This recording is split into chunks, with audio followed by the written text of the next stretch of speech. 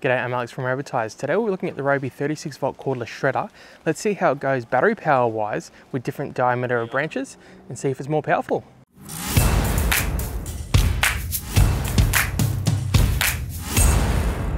If we have a look at the buttons at the top, you've got the press and hold for reverse. So if you've got a branch in there that's too big and it gets stuck, you hold that down and it'll put the blade in reverse to help you pull it back out.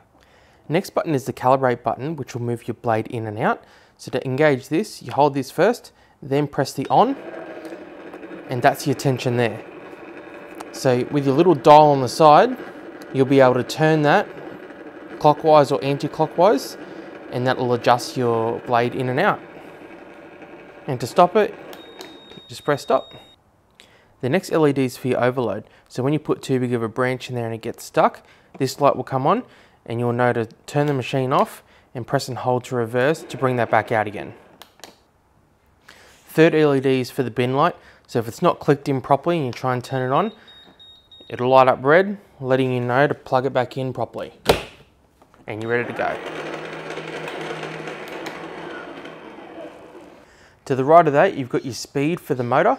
When you first turn it on, automatically go on one. You click it again, it'll power up to two. You can switch it back to one again and turn it off, stop button. Over on the side here, you'll see your instructions to calibrate the blade to make it looser or tighter. And over here, when the calibrate button is pressed, you turn it clockwise to tighten it and anti-clockwise to loosen it again.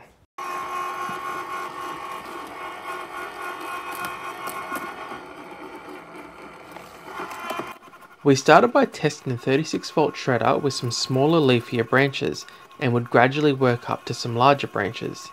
As you can see from the pile behind, we had some work to do. The shredder features a 7 tooth blade capable of crushing up to a 40mm branch. Because it is part of the Whisper series, we found the shredder does run quieter than the AC version, and of course a petrol version as well. It also has a 2-speed option for when you are switching between soft and hard woods. As it pulls the branches into the mouth, if they have quite a few leaves on them, they start to gather around the blade mechanism. So what I had found was running a few bare branches through without leaves on them, just to help clear that excess leaves from around the blade.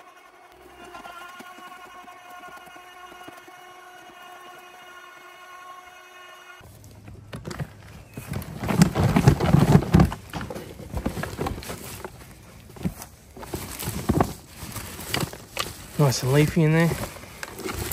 Mulched up pretty well for the majority of it. You can see it cutting, cutting it up there, almost all the way through.